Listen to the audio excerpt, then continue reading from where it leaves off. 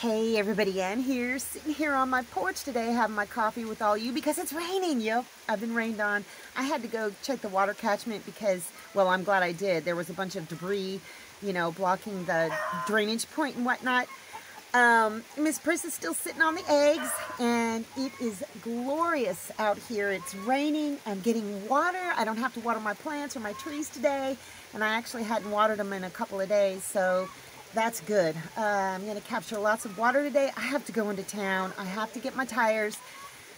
So I'm waiting just a few minutes here and then I'm going to get up and go. I don't know how much I'm going to get done today, but I will go to Tractor Supply Company because I got to get a bunch of bedding. I got to get some tarps. I got to, I just got to do a lot of stuff. But as far as outdoor activities, I'm not so sure. Good morning, chickens. on my way into town and no papa's not with me because i have to get a new tire and i can't have him with me when i'm getting a new tire.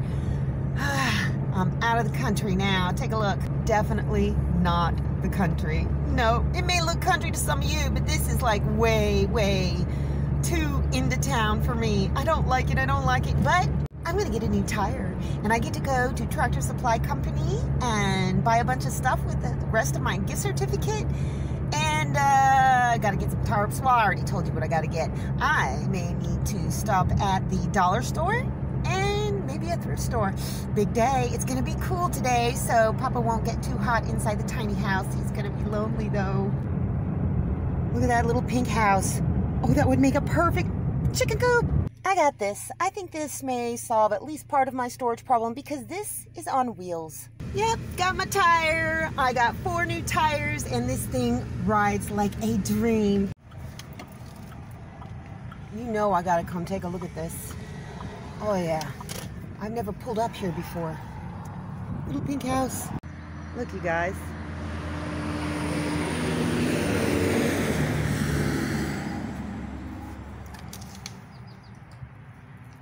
Holy moly. Look at this. It's like a little workshop. It's got a sink in it. Oh my goodness. Would you look at this?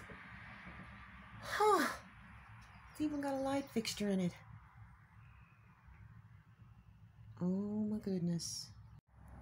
I wonder what this was used for. Look, it's got a little fuse box and everything. Ho. It's got little drains out the side. Would you just look at this? Gosh, I wonder how much they want for it. Alright, look at this side, right here. It's like a little window. Maybe, maybe it was like a little serving thing or whatever. A little food cart. I don't like the looks of that. I didn't get it. Nope, there wasn't even anybody there to talk to about it, to ask how much they wanted for it. I'm imagining with all that stuff that's in the inside that they're probably going to want quite a bit of money for it, and I just am not willing to do that, so. But it's a cute idea. Um, I'm here. Oh my gosh, I hope I don't spend too long inside this store. No question about it. It's an addiction. Look at, aren't they cute? They're Easter egger pullets. Four of them. Oh my goodness. I think they're like three days old. I know I'm crazy, but I'll explain my my reasoning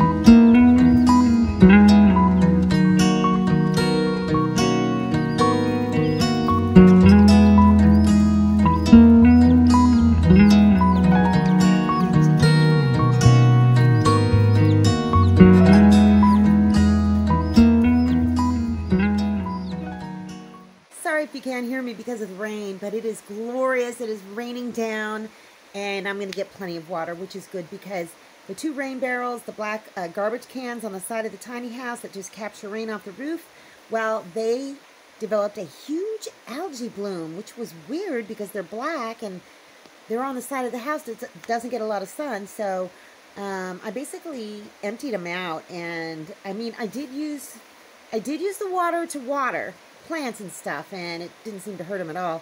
But I emptied them out almost completely, so I need to fill them up just a little bit so I can scrub them down real well, um, so they can capture rainwater again. I'll have to figure something out about the, the algae.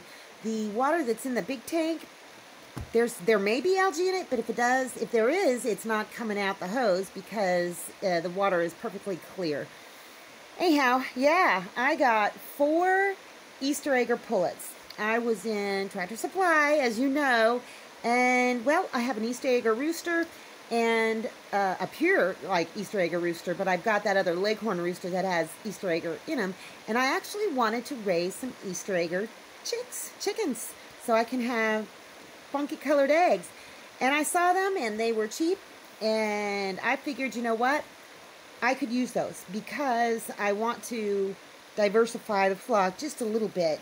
Uh, my granddaughter said, well, can you breed like, you know, brothers and sisters and stuff? What I've had explained to me is that you don't really want to mate siblings. But if you're going to do line breeding, like mother to son, like mother uh, mother with a son rooster or father to a daughter hen or something like that. But, um, you know, they won't be really Easter egger chickens, so you don't know if it's going to be a brown egg or a white egg or a blue or a green or whatever. So I bought them, and I had got that little brooder box that I was going to set up before because I was going to start hatching out chicks in the incubator, but then Miss Purse Fancy Pants started sitting on eggs, so I just got four of them. No big deal. Um, so what I will probably do is separate into three flocks. I'll take some of the chickens away from Romeo eventually once these Easter egger hens are full grown, big enough to be around him. Um, the leghorns, I am likely to put all of the leghorns in that one coop and yard. Just depends. Uh, it's going to, I'm just going to have to see how that's going to work out. And then start another flock with, if the Rocky, the barred Rock, new baby chick is a rooster. I would like to give him his own flock too. So we'll do some ranging around and stuff like that. But it's been raining, so I haven't been able to get out and finish the coop. I got plenty of chicken bedding. I've got um, a nice big tarp, and so that's going to be finished hopefully tomorrow. So yeah, I don't think I'm crazy. Well, I am a little crazy, I guess, with all these chickens, but I really wanted these kinds of chickens in particular, and um, so I'm going to keep them inside the tiny house. Um, oh, somebody's up. They're just so cute. Here, let me show you again. I keep this like this. Um, I don't just put this on the top. I want them to have plenty of air. And then, that's just a cardboard box, and there's that heat mat, the heat plate over it, so it's it's down and they've got a little door they can go in and out and this is actually quite warm in here so that's good let me move this out of the way so they just come in and out whenever they want to get a bite to eat get a drink of water and they're just adorable so yeah I will pick some up and hold them for you tomorrow because they don't mind being held um, but I'm just going to let them get used to their surroundings and so they'll stay in here for I don't know maybe a couple, two, three weeks. Just depends on how big they get, how fast. I'm definitely going to be giving away and or selling chickens because my neighbor next door, the new ones, uh, once they get their whole thing set up over there, um, he said he wanted chickens and his children want chickens big time. So I will definitely be giving them some. Um, I may sell some. I don't know. I think right now I'll, I'll probably just give them away because I've got so many coming. Um, but this is going to be another adventure. This is going to be fun. Don't worry, this channel isn't going to be all about chickens. It's going to be pretty much about chickens, but that's not all I'm going to talk about because I know not everybody likes to watch chicken videos. I got so much more left to do on this tiny house that there's going to be plenty of that too. Anyway, that's all I got for you guys today. See you in the next video.